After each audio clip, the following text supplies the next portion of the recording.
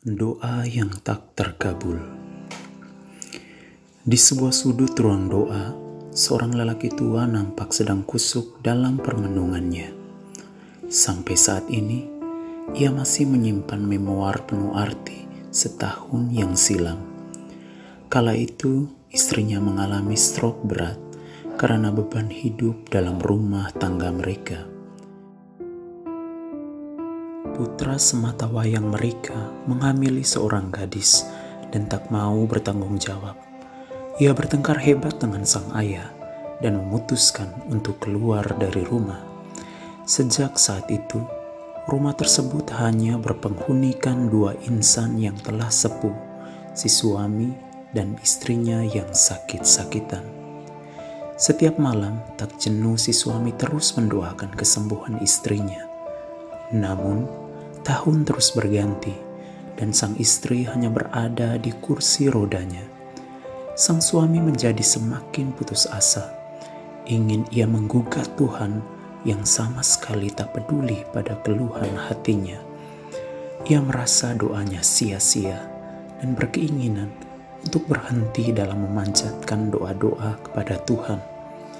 Tetapi ia tahu bahwa doa adalah satu-satunya kekuatan untuk bertahan di masa-masa sulit seperti ini. Memasuki tahun keempat, kondisi sang istri semakin memburuk. Ia bahkan tak bisa lagi duduk di kursi rodanya dan diajak berkeliling oleh suaminya untuk menghirup udara segar di kompleks sekitarnya. Kini, ia terbaring saja di ranjang. Si suami pasrah ia tahu bahwa maut akan segera merenggut belahan jiwanya. Air matanya seakan telah kering. Dalam hatinya hanya sebuah kalimat yang terus mengalir. Tuhan, tolong. Tuhan, tolong aku.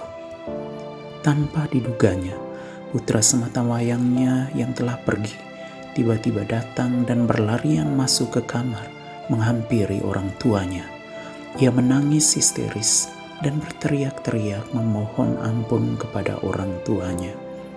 Sang ayah tak mampu berkata-kata. Ia hanya membelai rambut kepala putranya dan memeluknya erat di samping sang istri yang hanya bisa memandang mereka dalam tangis. Terkenanglah si bapak bahwa beberapa menit setelah kekasihnya menghembuskan nafas terakhir, ia mendapat bisikan sang istri putraku telah kembali. Itulah sukacita yang telah menyembuhkan aku. Kini ia sadar bahwa doanya yang tidak terkabul itu telah digunakan Tuhan untuk menempa hidup batinnya secara benar. Tuhan tahu mana yang terbaik untuk masing-masing orang. Tuhan tahu apa yang sesungguhnya dibutuhkan manusia maka tidak patut memaksakan kehendak diri pada yang ilahi, karena kehendak Tuhan selalu sempurna, terbaik, dan indah pada waktunya.